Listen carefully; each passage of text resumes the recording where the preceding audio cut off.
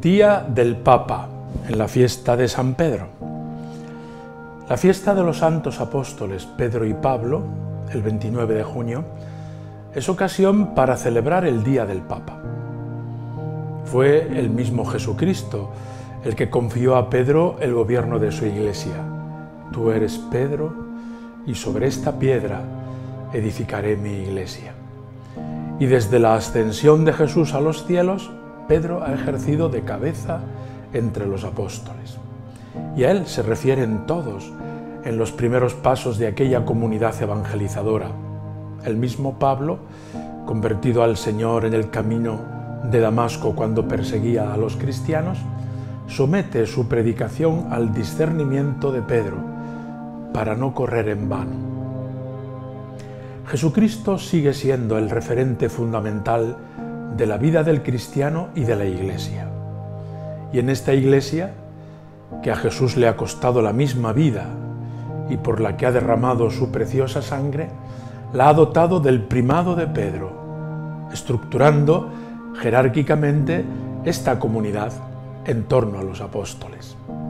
Pastores y fieles, por tanto, tienen en Pedro el principio y fundamento de la unidad en la Iglesia.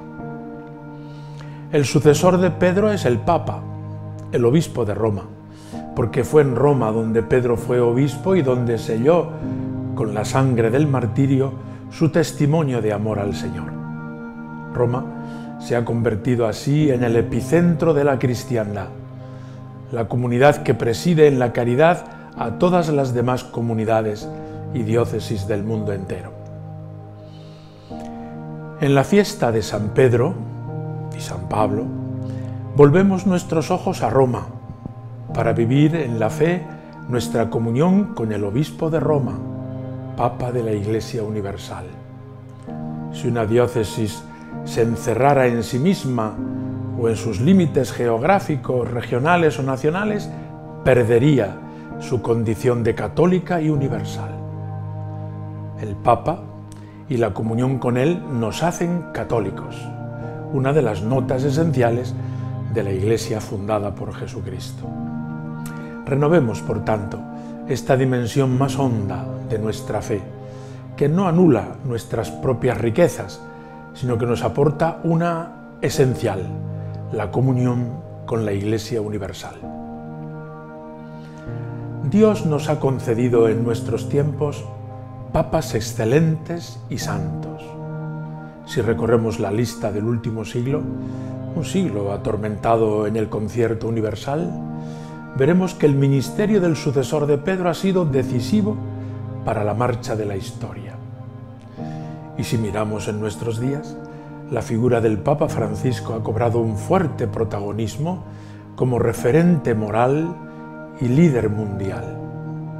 Podemos decir que la Iglesia Católica en el pre y posconcilio Vaticano II, ha abierto por medio del Papa nuevos horizontes de renovación en un cambio de época como el que estamos viviendo, al tiempo que permanece fiel a su Maestro y Señor. Subrayaría del Papa Francisco sobre todo su opción por los pobres de la tierra, una opción teológica, antes que sociológica, filosófica o política, es decir, una opción inspirada en el ejemplo y la enseñanza de Cristo nuestro Señor. Su atención constante a los últimos, a los descartados, a los refugiados, a los emigrantes, a los que cruzan el mar a la desesperada en busca de mejores condiciones y pierden, muchos de ellos, la vida en el intento a los explotados en el tráfico de personas, de personas humanas, sobre todo en el caso de tantas mujeres, etc. Este fuerte testimonio resulta muchas veces incómodo, pero no va contra nadie, solo se inspira en el amor y nos, y nos impulsa a todos continuamente a la conversión. Oremos por el Papa todos los días para realizar su ministerio, su servicio a los creyentes en Cristo y a toda la humanidad, necesita constantemente del auxilio divino, porque se trata de una tarea que desborda todas las capacidades humanas. Él nos pide continuamente que oremos por Él y lo hacemos con gusto, para que el Señor que lo ha elegido para ponerlo al frente de su iglesia lo sostenga con su gracia.